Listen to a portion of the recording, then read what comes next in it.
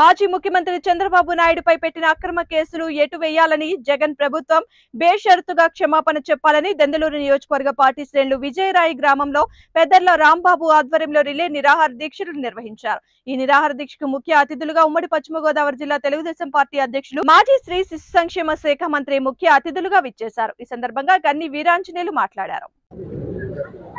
మరి ఇక్కడ చింతమనేని యొక్క ఆధ్వర్యంలో దెందులూరు నియోజకవర్గం మరి పెదవేగి మండలం విజయరాయి గ్రామంలో ఈరోజు నియోజకవర్గ తెలుగుదేశం పార్టీ కుటుంబ సభ్యులందరూ కూడా మా నాయకుడు చంద్రబాబు నాయుడు గారి యొక్క అక్రమ అరెస్ట్కి మరి నిరసన తెలుపుతూ దీక్షా శిబిరంలో పాల్గొన్న సమయంలో మేము ఒకే ఒక్క విషయం స్పష్టం తెలియజేసుకున్నాం రా- రాష్ట్ర ప్రజలందరికీ కూడా.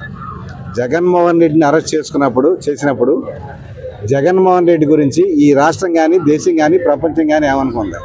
లక్ష కోట్ల రూపాయలు అవినీతి చేసి లోన్ ఇస్తాయని పదహారు నెలలు జైల్లో ఉంటే నలభై వేల కోట్ల రూపాయల అక్రమాసులు కలిగి ఉన్నాడని చెప్పి సిబిఐ ఈడీలు దర్యాప్తు చేసి సిబిఐ కోర్టులో అవి వేస్తే జగన్మోహన్ రెడ్డి గారిని అరెస్ట్ చేసినప్పుడు ఆయన అవినీతి గురించి మాట్లాడారు. ఈవేళ మా నాయకుడు చంద్రబాబు నాయుడు గారి మీద అక్రమ కేసులు పెట్టి లోనేస్తే మా నాయకుడు చేసిన అభివృద్ధి గురించి మాట్లాడుతున్న ప్ర- ప్రపంచం అంతా కూడా. చంద్రబాబు నాయుడు గారు అవినీతి పరుడు. ఆయన ఏదో తప్పు చేశాడని ఎవరు అనుకుంటలా? ఇంక్లూడింగ్ వైఎస్ వైసీపీ నాయకులు కూడా అనుకుంటలా. ఆయన ఎప్పుడైతే లోనేశారో చంద్రబాబు నాయుడు గారు చేసినటువంటి అభివృద్ధి భావి తరాలకు ఈవేళ ఈవేళ మన పిల్లలకి ఏం కావాలో ఇరవై సంవత్సరాల తర్వాత ఏం కావాలో ఆలోచించేటువంటి ఒక విజనరీ నాయకుడు చేసేటువంటి ఆలోచన. ఈరోజు దేశ ప్రజలందరూ ప్రపంచంలో కూడా ఇవాళ నిరసన చెప్తున్నామంటే మనకు అర్థమవుతుంది చంద్రబాబు నాయుడు యొక్క విజనరీ ఏంటో. అలాగే మాకు పనిలో పనిగా మాకు పవన్ కళ్యాణ్ గారు బ్రహ్మాండంగా ఈరోజు ముందుకొచ్చి తెలుగుదేశం పార్టీకి అండగా మేము ఉంటాం.